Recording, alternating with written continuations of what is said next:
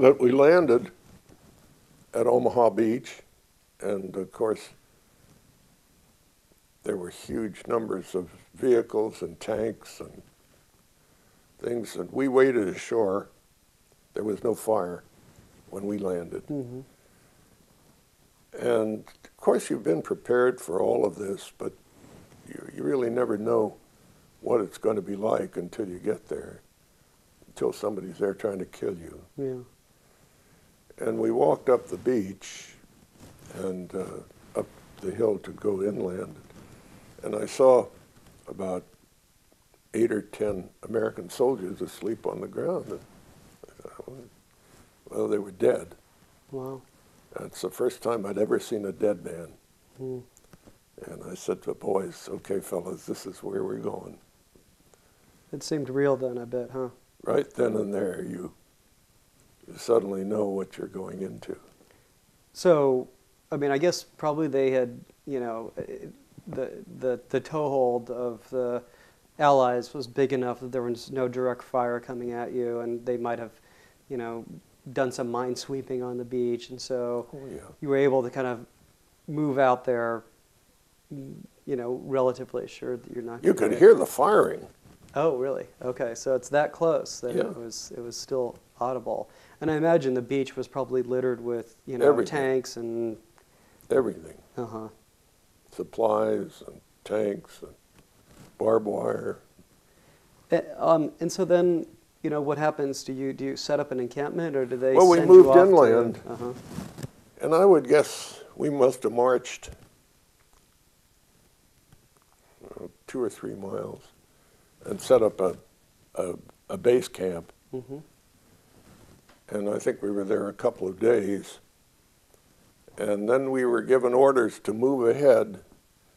And uh, the 9th Division had been one of the assault divisions in the uh, original invasion. hmm and uh, we took over their positions, their dugout, their foxholes, and they were relieved.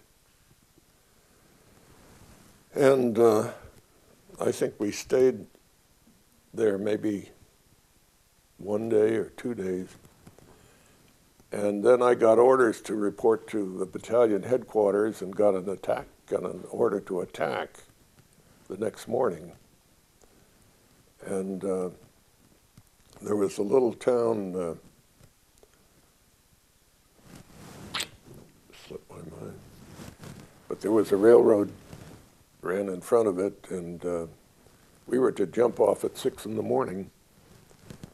And uh, I called. I came back to my command post, and uh, I called my lieutenants together, first sergeant, and this I'll never forget.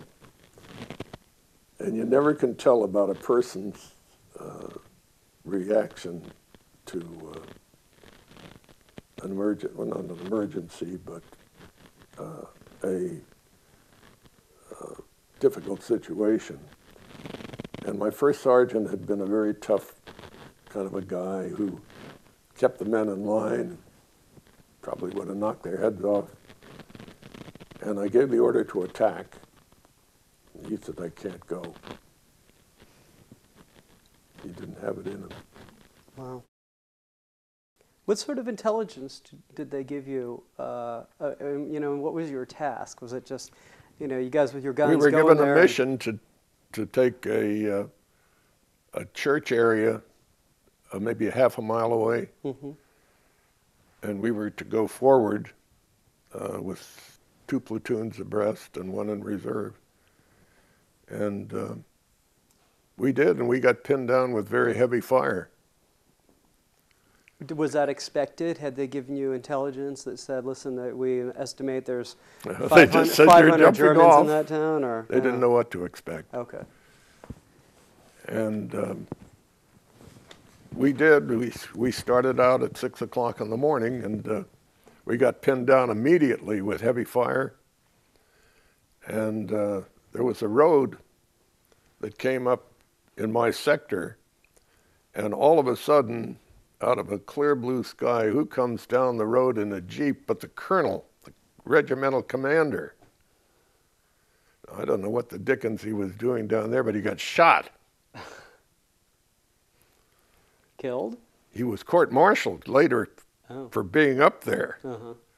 but he got badly wounded.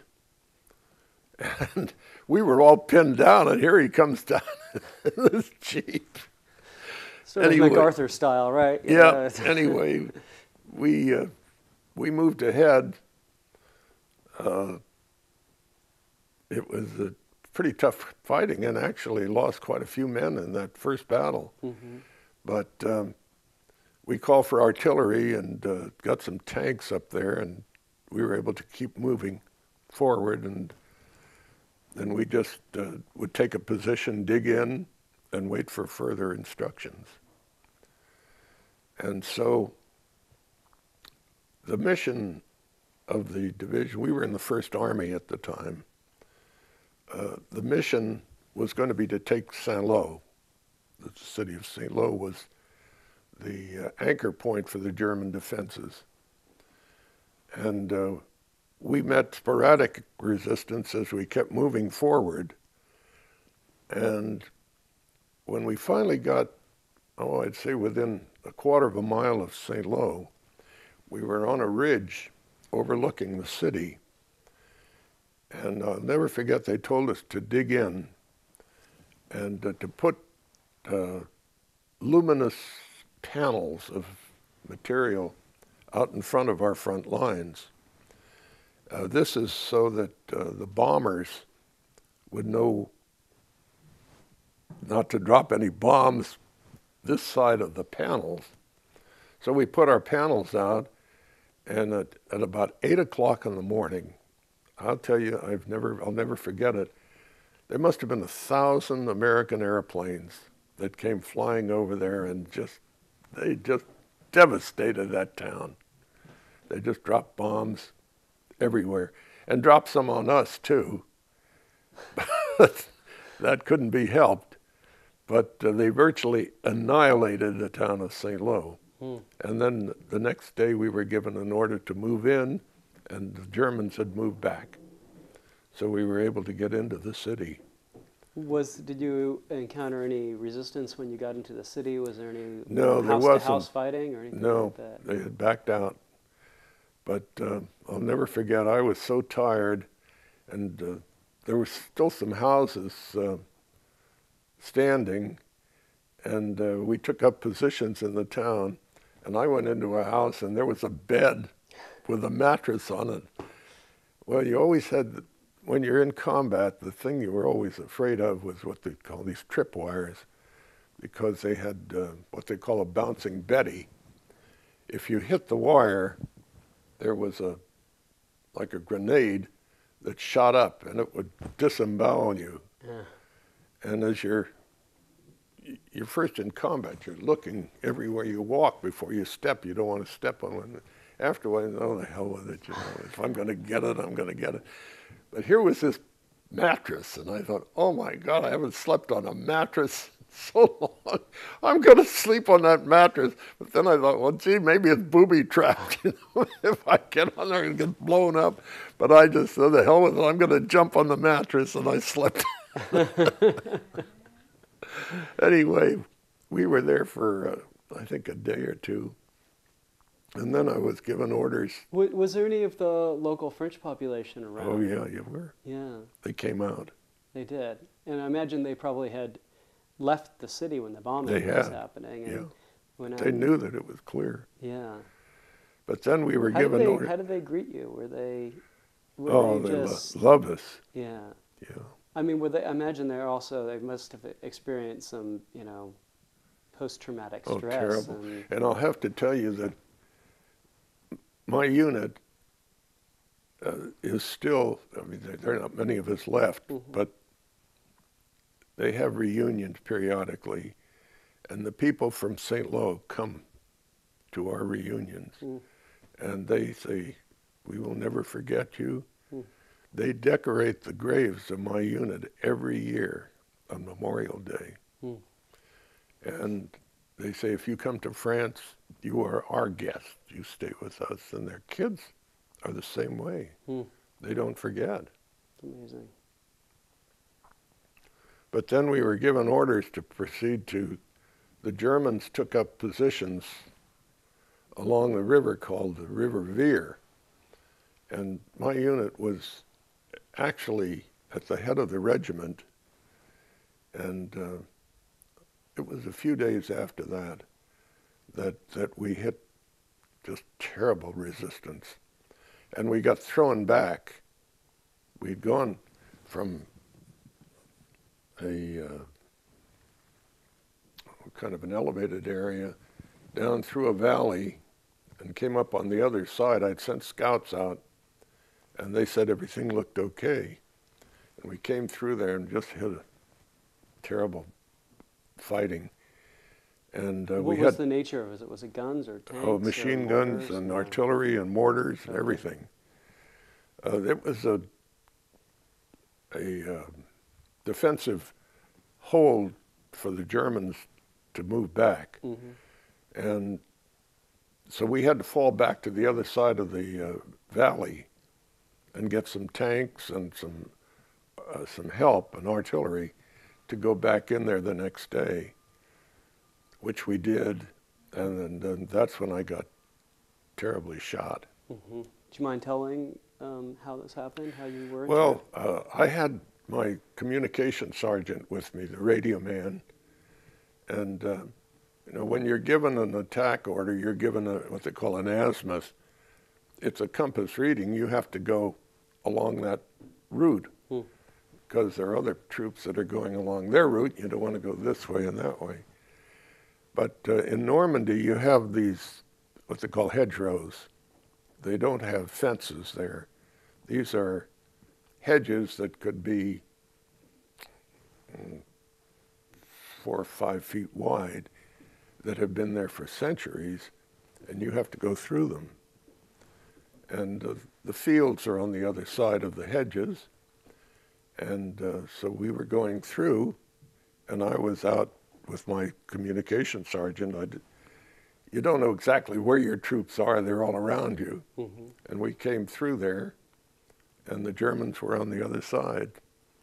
And the next thing I knew, I was down on the ground with uh, a bullet hole right through here.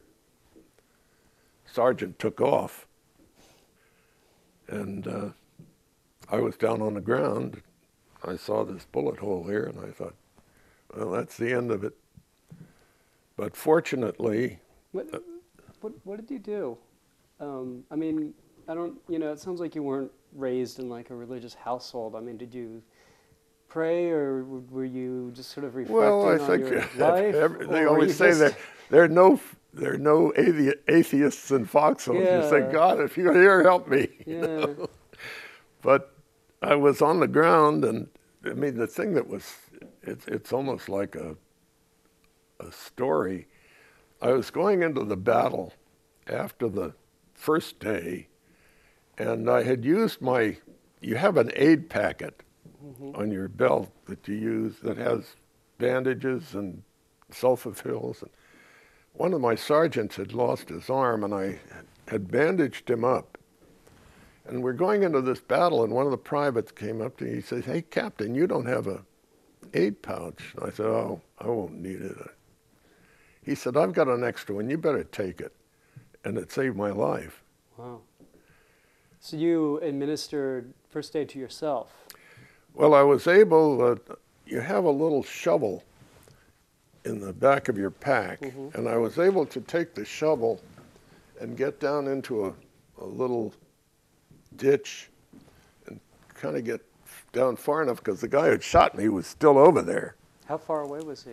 Oh, maybe 20 or 30 yards, Okay. pretty close. And so I, I there was still stuff coming at me. hmm and I was able to get out of the line of fire and stay in that little ditch. My men couldn't get out to get me at that point, but uh, several hours later, they did uh, get rid of the uh, the fire, and they came out with a a raincoat and rolled me over and put me in the raincoat and crawled out to uh, the road, and the medics were there and uh, they they gave me the plasma and put me on a stretcher, and we started to go back to the uh, where the headquarters were. And the Germans at that time had uh, they had been there a long time, and they zeroed in on these roads with artillery and mortars. And these these uh, stretcher bearers were carrying me, and uh, the, fire started to come in on on the road, and they just they dropped me in the middle of the road, dive for the ditches. They'd hear the stuff coming in. They'd pick me up and run 10 yards and drop me again. I thought, what a terrible way to die out here in the middle of the road. I couldn't move. Anyway, they kept pulling me out, and finally, uh, we got back to the aid station, and uh, there was a Jeep there. They put me on the front of the Jeep, and uh, they took me back to the field hospital, and they put you on a some kind of a machine to see if you have any shrapnel left in you, a metal detector, I guess. And that was the last I remember.